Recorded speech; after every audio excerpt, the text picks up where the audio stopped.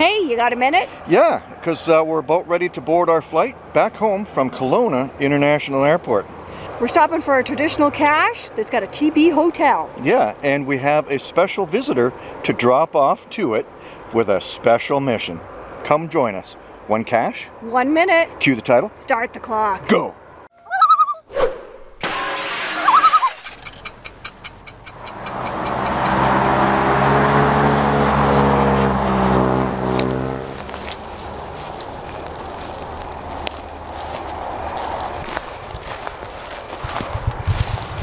Looks to me like a bear has been here.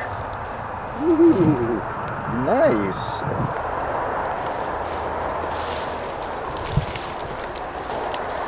Got it. You got it? Woohoo! It's, wow. It's pictures. Nice. Got it. Got it.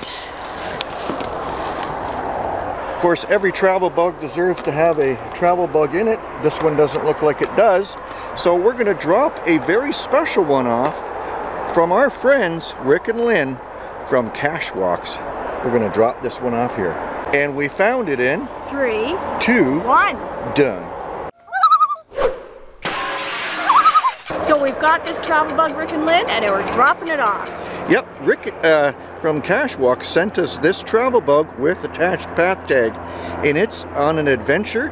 There are a few of them like this all across the world, and if you log this trackable and the path tag, you can be entered to win at Trackable up to May of next year, 2023. Wow, yeah. So there you go, Rick and Lynn. We're dropping off your uh, Trackable adventure right here in Kelowna, British Columbia. yeah, right by the airport. Kelowna's TB Hotel. There you go.